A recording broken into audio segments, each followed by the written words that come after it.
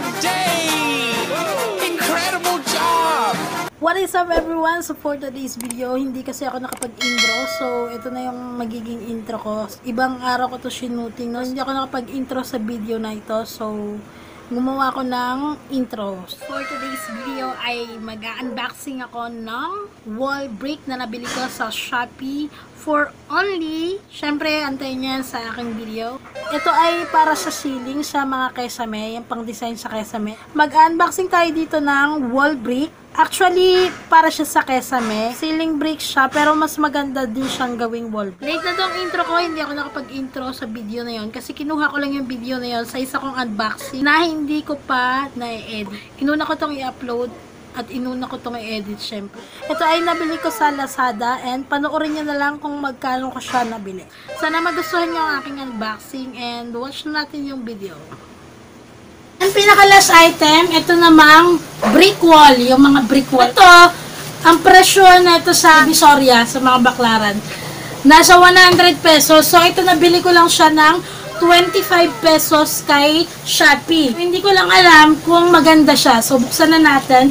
Ito yung mga bricks wall, yung mga pang design-design sa wall-wall, no? So, bricks wall. So, buksan na natin.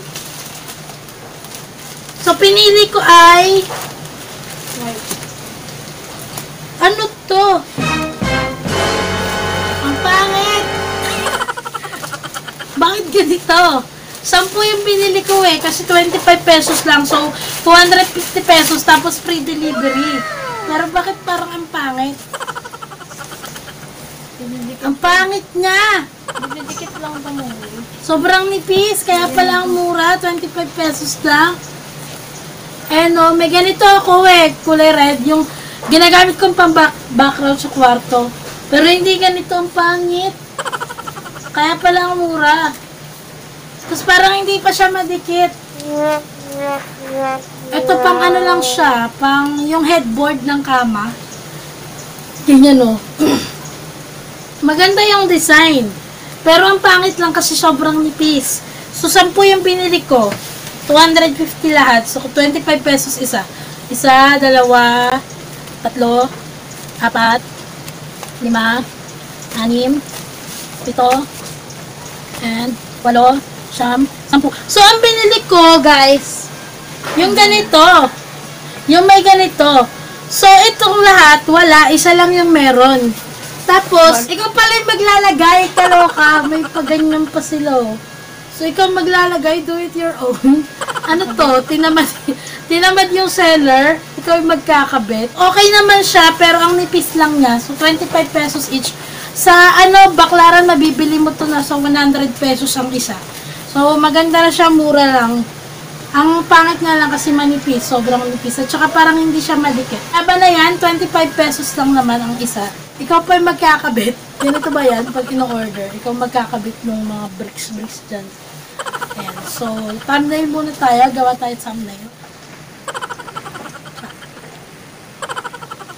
O, maglalagay na tayo nito kasi kaloka kasi yung seller nito. Ganito ba talaga to pag binili? Ikaw yung magkakabit-kabit dito. Kaya ikakabit na natin dito sa mga ganyan-ganyan na box-box.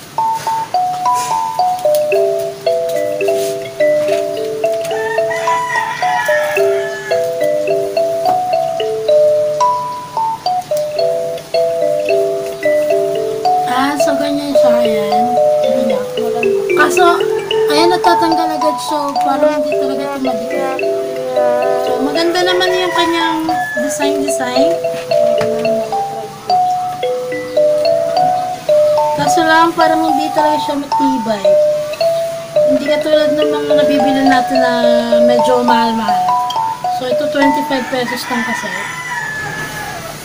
Ah, lagi may iba.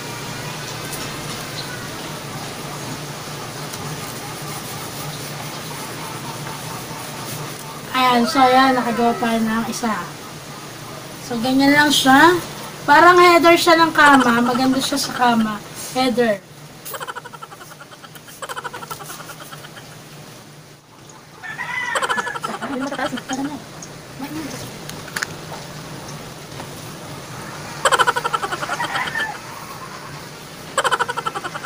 ko lang kayo na kabit na natin. Ayan. Pinahirapan tayo ni seller magkabit-kabit. So, ayan. 1, 2, ah, maganda siya. 2, 3, 4, 5, 6, 7, 8, 9, 10. Yan, 10 piraso. And may sobra pa siyang sticker. Ayan, may sobrang dalawa in case na mawala. Lagay na natin itong binali natin. Tawag dito. Ah, headboard to eh. Pang headboard ng kama. So, ayan, tatanggalin nyo lang yung dikit. Ayan. So, ipapakita ko sa inyo yung, ano, yung makapal. Ito. Ito yung makapal. Pakita mo. Yung ginagamit kong pang background. So, ayan. 100 yan eh. 110. Tapos, maliit lang din. So, ito naman 25 lang. Napakamura. And maganda din siya. So, lalagay na natin. Mukhang madikit naman. So, hindi pantay. Ayan. So, yan yung una. So, laban na. Mukhang maganda naman.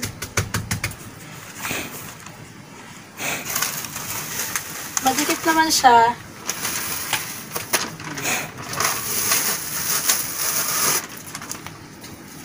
So, next.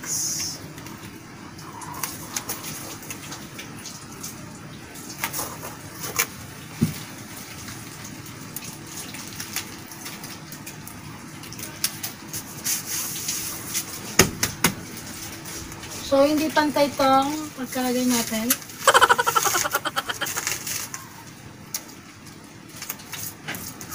So, ayan, pantay na. So, ayan na yung kinalabasan ng ating ah, pagde-design sa wall. So, 10 siya lahat. 1, 2, 3, 4, 5, 6, 7, 8, 9, 10. So, ganyan yung sakop niya sa 10. So, maganda siya. Sulit din sa 25 pesos. Ngayon, siguro mahal na siya. So, abangan nyo sa 10-10 sa, pag nag-sale ulit sa 10-10. So, sa Shopee ko siya nabili. For only 25. Meron dun mga nakita ko 7 pesos. Meron ding 8. Ganito rin eh. Hindi ko lang alam kung ah, meron pa siya ngayon. Hindi ko lang siya kasi na-try orderan. Kasi, hindi siya cash on delivery. Kailangan bayaran muna agad. So, ito maganda kasi lahat ng in-order ko sa Shopee and Lazada, cash on delivery. So, mas maganda yung ganun. So, ayan siya. Maganda siyang pang background. Parang ang yaman-yaman ng dating. Para siyang headboard sa kama. So, yun lang. Napakaganda, napakaangas. So, ayun lang. Napaka dami kong magagandang nabili. So, yung pinaka-favorite ko na nabili, dito lang ako na-disappoint kasi sobrang nipis pala. Chinek ko naman yung mga comment-comment na mga ano, okay naman daw, pero na-disappoint lang ako kasi sobrang nipis. Pero, sakto lang naman kasi yung presyo, 25 pesos lang. Mura na yan. So, wala pa na yan. So, yun lang ang ating video for today. I hope nagustuhan nyo ang aking unboxing videos. And, sana bumili kayo sa kanila. Support natin ang small businesses. No? And, next week, magkakaroon na uli ako ng tutorial videos. Abang-abang lang kayo uh, about SSS tutorial videos, Gcash, at iba-iba pang mga tutorial. Mag-comment kayo dyan sa baba kung ano yung mga gusto nyong mapanood na tutorial videos sa aking channel. At gagawan ko yan ng video. So, yun lang. I hope nagustuhan nyo ang aking video. Give this video a thumbs up. Comment down your suggestion. And please subscribe to my channel if you haven't subscribed. And click the notification bell para lagi kayong updated every time na may bago akong video. At pag nagkaroon na ako ng tutorial video. Kasi ang daming nanonood ng mga tutorial videos ko about SSS and Gcash, kung paano mag-apply ng loans and kung paano gamitin sa Gcash. So, lahat yan tinuturo ko sa aking tutorial videos. Mag-browse lang kayo dyan. Click nyo lang yung picture ko sa baba, yung may name ko, then click nyo yung picture, and lalabas na yung aking YouTube channel. So, yun lang. I hope na manood kayo ng aking mga videos. So, thank you so much for supporting all my videos, guys. Yun lang. Bye! So, thank you for watching. Bye! Yun, bye!